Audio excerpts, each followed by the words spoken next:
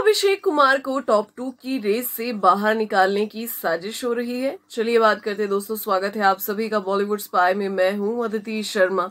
तो दोस्तों, एक तो घर के अंदर लाइव वोटिंग करवाना बड़ी ही अजीब चीज़ है, क्योंकि एक मुट्ठी भर लोग डिसाइड नहीं कर सकते कि कौन बाहर जाएगा, कौन घर के अंदर रहेगा। ये पूरे देश की जनता डिसाइड करती है अपने वोट्स देके। कि किन्हें वो घर के अंदर देखना चाहती है और किन्हें घर के बाहर। तो ये भी एक अजीब सा ड्रामा बिग बॉस के घर में हम आए सीज़न देखते हैं।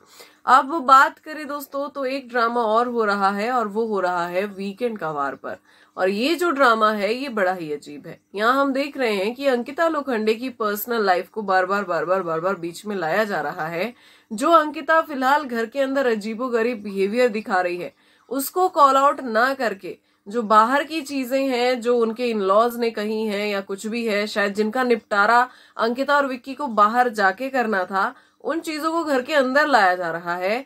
तो कहीं ना कहीं सोशल मीडिया पे ये चर्चा है कि अंकिता को फुल ऑन सिंपथी दिलवाने की कोशिश यहाँ पे हो रही है और इस तरीके से चीज़ें घुमाई जा रही हैं कि अंत में आकर चर्चा अंकिता लोखंडे की हो ताकि लोगों का ध्यान अंकिता पर बना रहे और जिस तरीके से अंकिता टॉप टू से नीचे आई हैं, तीसरे नंबर पे और चौथे पर भी जा सकती हैं तो दोबारा से उन्हें उनकी नंबर दो की पोजीशन दिलाई जाए, क्योंकि जब चर्चा होगी तो कुछ ना कुछ तो उसका नतीजा निकलेगा ही।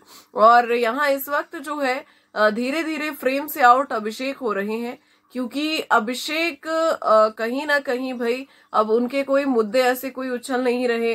कुछ किसी चीज़ को हाईलाइट नहीं किया जा रहा है। ईशा के साथ भी जो उनकी चीज़ें हो रही थी, ईशा ने जो इंटेंशनली उनको पोक किया फिर से, अभी ऐसा कोई चीज़ सामने नहीं आई है। ऐसी कोई बड़ी हाईलाइट नहीं है कि उसके लिए भी कॉल आउट किया गया हो।